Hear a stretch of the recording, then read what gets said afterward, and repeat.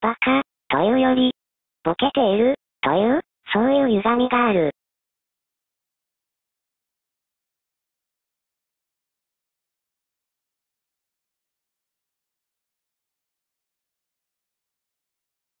前者は相手が正常、それであることを前提にした打算ことを期待するが、後者は何かが病的に間違ってる。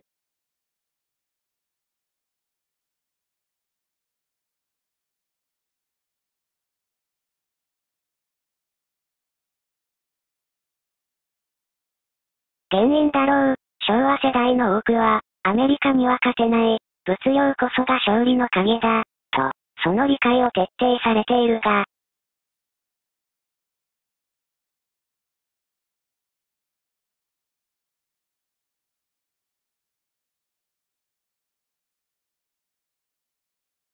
とはいえ今、アメリカの主張する方法論では、利益が出ないのだ。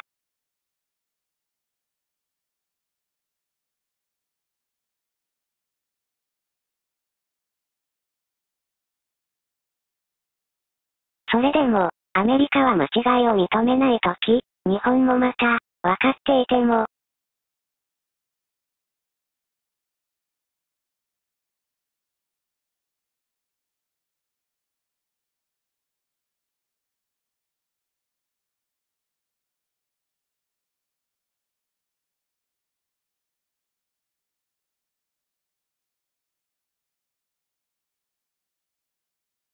この方法では利益が出ない、と分かっている方法論しか使えず、その上で、利益を出せ、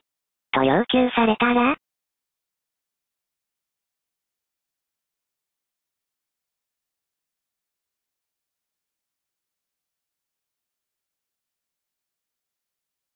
それは誰だって、狂う。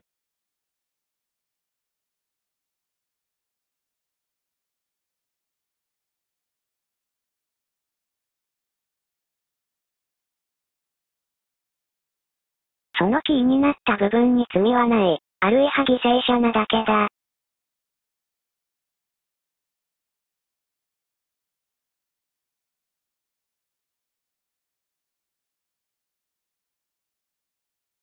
そこへ集中するものが、ボケている根幹なわけだが、